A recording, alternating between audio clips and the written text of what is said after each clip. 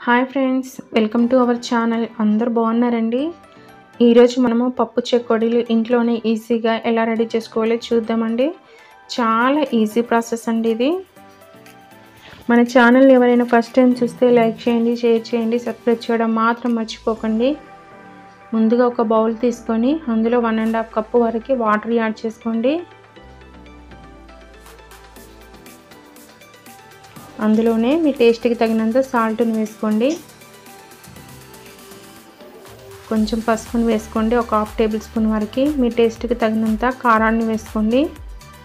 నేను Kashmir chilli powder వేసానండి అందులో. ఒక టేబుల్ స్పూన్ వరకు జీలకర్ర పౌడర్ని వేసుకోండి.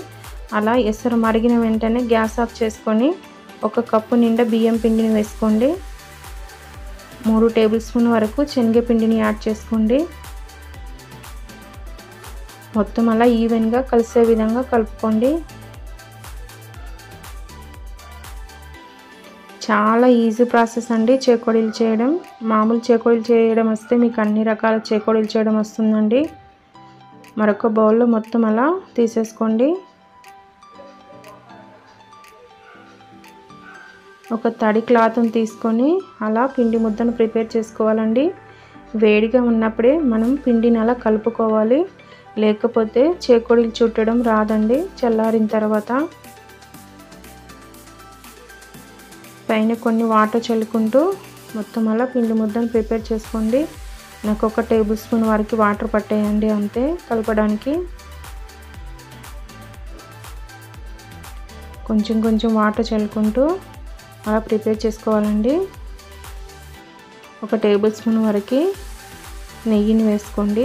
చేతులకి అంటుకోకుండా ఉంటుంది పిండి. మొత్తం టేస్ట్ కూడా బాగుంటుందండి నెయ్యి వేయడం వల్ల. నెయ్యి లేకపోతే మీరు ఆయిల్ అయినా వేసుకోవచ్చండి. చూడండి అలాంటి కన్సిస్టెన్సీ రావాలండి చేకొడీలు చుట్టడానికి. కొంచెం ఆయిల్ రాసుకోండి చేతులకి.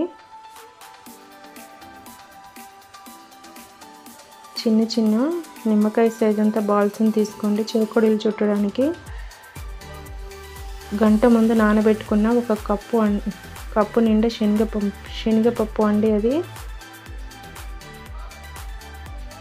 చూడండి అలా వేసుకొని శనగపప్పుని కొంచెం కొంచెంగా అలా రోల్స్ లాగా ప్రిపేర్ చేసుకోవాలండి చేకొడలు చుట్టడానికి.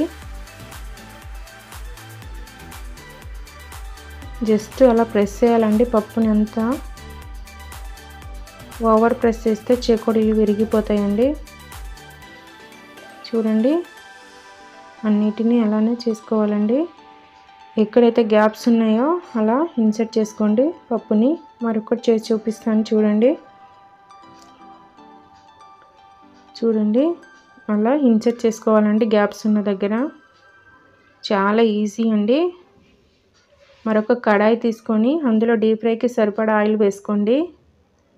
ఆయిల్ వేడెక్కిన తర్వాత ఒకటొకటిగా చేకోడీలను వేసుకోండి. మన చూపుడు వేలంత సైజులో ఉండాలండి. అంత లావుగా ఉండాలి చేకోడీలు. అప్పుడే బాగుంటాయండి. మరీ సన్నంగా చేస్తే బాగోదు. మరీ లావుగా చేసినా అస్సలు బాగోవండి. చూడండి. అలా బ్రౌన్ కలర్ వచ్చేంత వరకు వేయించుకోండి. సిమ్లో పెట్టి వేయి వేయించుకోండి. ఐ ఫ్లేమ్లో పెట్టకండి. పైన ఉడికిపోయి కలర్ కలర్ వస్తుంది కానీ లోపల కుక్ అవ్వండి ఐ ఫ్లేమ్లో పెడితే అన్నిటినీ అలానే స్ట్రైనర్ సహాయంతో తీసేసుకోండి. ఏమైనా ఎక్సెసివ్ ఆయిల్ ఉంటే వెళ్ళిపోతుంది. ఒక ఆయిల్ టిష్యూ పేపర్ ప్లేట్లో వేసుకొని మొత్తం అన్నిటిని అలా వేసేసుకోండి.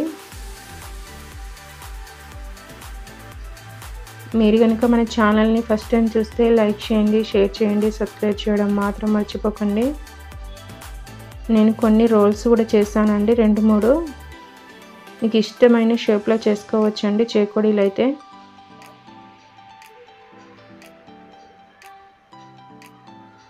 చూడండి ఓపెన్ చేసి చూస్తాను. చల్లారిన తర్వాత ఓపెన్ చేయండి. చూడండి లోపల గుండ్ల గుండ్లగా బాగున్నాయండి గ్యాప్ వచ్చి.